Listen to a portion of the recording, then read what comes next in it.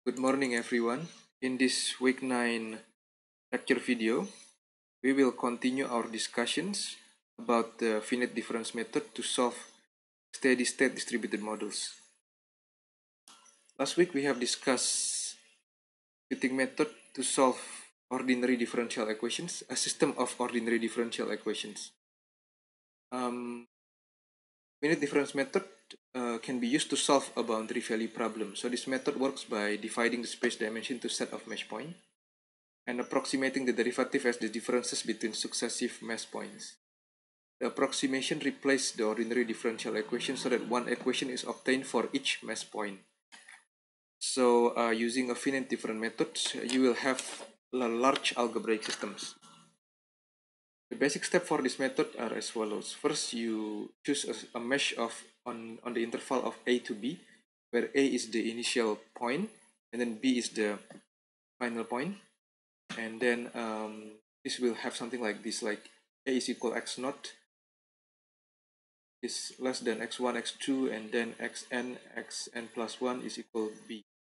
The mesh has n internal grid points. So normally we choose a fixed uh, increment a fixed mesh grid, which means that h is equal b minus a divided by n plus 1, and that xi plus 1 is equal xi plus h. Then we approximate the different derivative by difference method. Uh, the most common method is the center difference approximation. For a first order, it will have a form like this. And then we apply the approximation to the ordinary differential equation for each mesh point. This will result in an equation. Um, note that the points outside the interval like x minus 1 and x and plus 2 can also occur in the equations. Then we apply the approximation also on the boundary conditions. And then we derive equations for the points outside the interval. This method is called method of fictitious point. Solve the algebraic equation system. So if the ordinary differential equation and the boundary conditions are linear, then your equation system will also be linear. Linear and can be solved by Gaussian elimination. If the ODE and BC are nonlinear, then the equation system is also nonlinear and requires a nonlinear solver like Newton method. So what is the center difference approximation? So the derivative are approximated by the relation between the grid point values between the point where derivatives are calculated. So the first order deri approximation are based on the Euler approximations and it has two, two terms. So it's um, can be this one is basically a forward approximation and then this one is a backward approx so if I go out from my slides um, to show you in my camera here that we have these points in here so a forward would mean that um, this one this point in here minus this point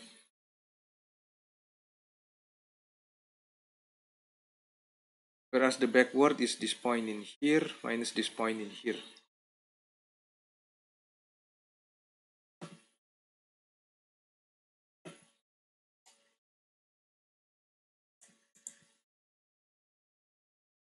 As you can see in here,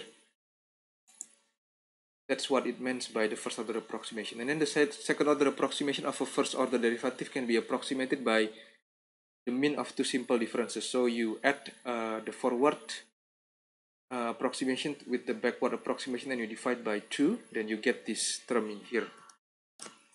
Second order derivative can be approximated by the difference between the two simple derivative approximations. So it will be uh, basically this one minus this one divided by h. Then you will get this term in here for your finite difference approximation you're basically uh, subtracting the the forward one with the backward one and divide it by the by the step size in order for you to get this one. Then uh, we go into the example to understand this uh, application of the finite difference better.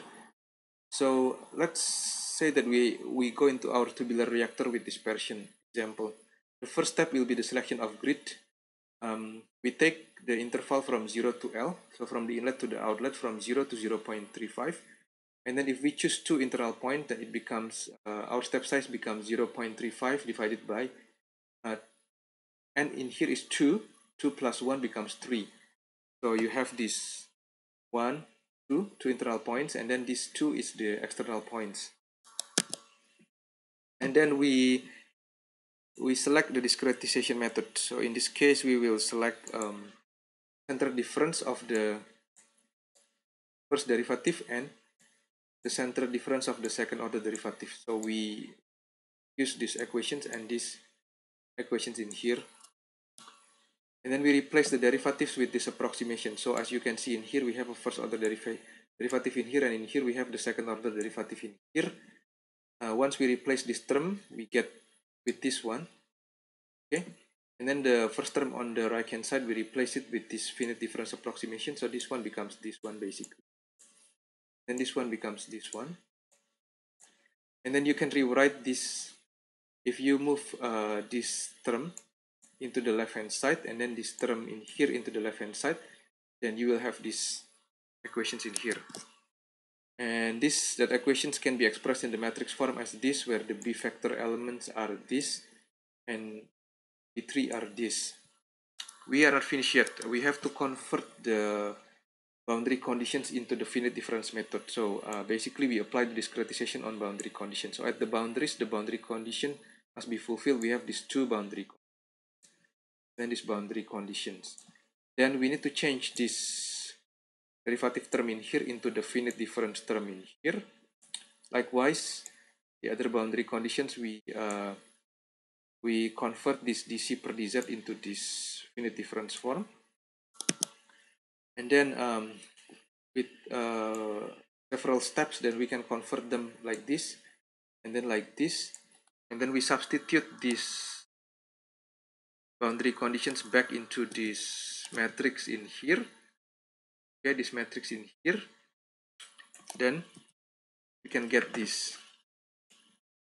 Finalized matrix in here basically for a system of four linear equations. And uh, the d vectors in here are described as something like this. And then um, then we basically check our overall algebraic system should be like this I have given the detail of the derivations in uh, week 9 additional materials. As you can see in here you can download it in the canvas.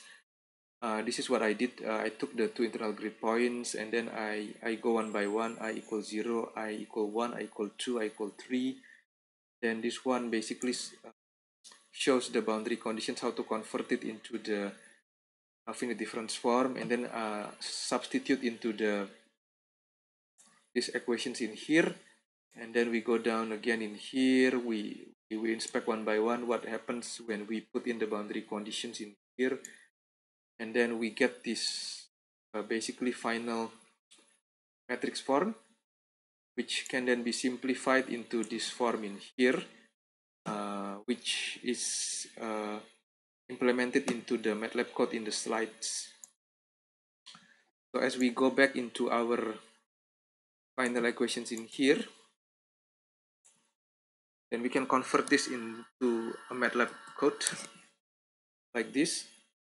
And then we use again the matrix manipulations as I have told you in the the week three of the lecture. Then you have to check it again how this particular uh, things is working. And then there is a, a bit of uh, manipulations in the matrix where basically we start inserting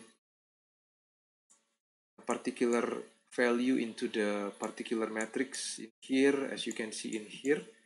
And then we solve using this um, life divisions of A ODE uh, by B. And then we can plot Z uh, versus C.